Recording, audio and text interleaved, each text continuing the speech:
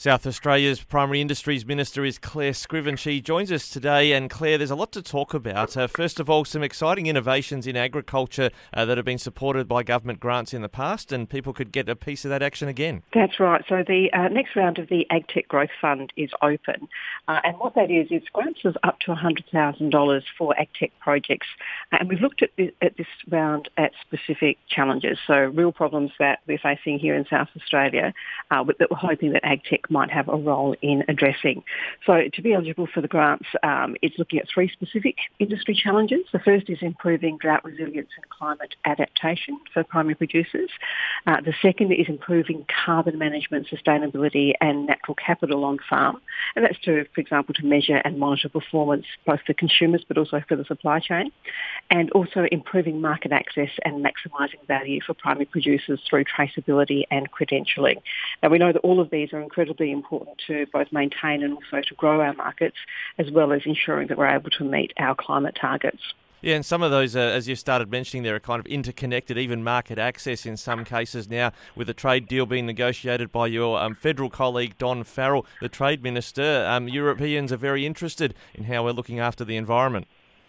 That's right. I think um, you know it, people talk about the provenance of particular products, or even simply wanting to know uh, you know how sustainable they are, and that's a consumer-driven uh, impact, uh, which is you know really being felt both domestically and internationally.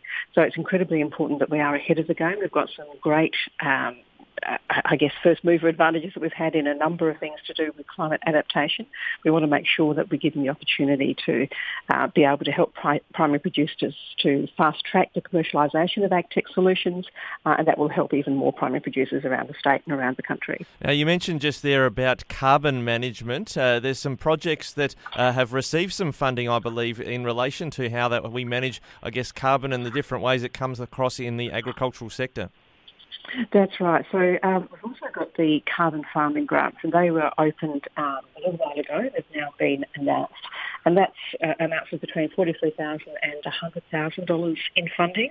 Uh, and the projects that have been successful, they span across quite a range. They include horticulture, livestock, cropping, and dairy, uh, and include things like soil, soil carbon sequestration and revegetation, uh, to animal effluent management project activities, um, and a number of others. So, uh, yeah, quite a good range there. Uh, and I think I noticed in the list, Mallee Sustainable Farming almost got $100,000. What are they going to be up to? That's right. So uh, they're going to be looking at the development and assessment of large-scale cropping systems-based soil carbon sequestration through soil amelioration practices in the in the Murray Mallee. So it's a bit of a mouthful, but really looking at um, you know how they can uh, better sequester carbon through soil amelioration, uh, and that's a really you know very important part as well. So good to see that one of the uh, businesses in the Murray Mallee was successful in that grant round. And it goes to show these things aren't suddenly things farmers need to do that they weren't going to do before. They run sort of hand in hand with good soil management, among other things? Well, a lot of farmers, of course, have been you know very advanced in a lot of these areas for some time, uh, and we know that it's in their interests as well as in the interests of the environment to be able to uh, demonstrate sustainability and demonstrate and make sure people know about good practices. So there's a you know a whole I guess um, you know, piece that all kind of melds in together, which is really, really positive for South Australia. And we've also kept a close eye through our agricultural departments in South Australia on public health when it comes to our fisheries. Uh, the Pipi fishery was closed for some time, but I understand uh, the season's been extended after you got an all clear on the pipis. That's right. So um, your listeners might be aware that there was uh, an E. coli issue uh, in regards to uh, Goolwa pipis, uh, and therefore that needed to be closed for recreational fishing.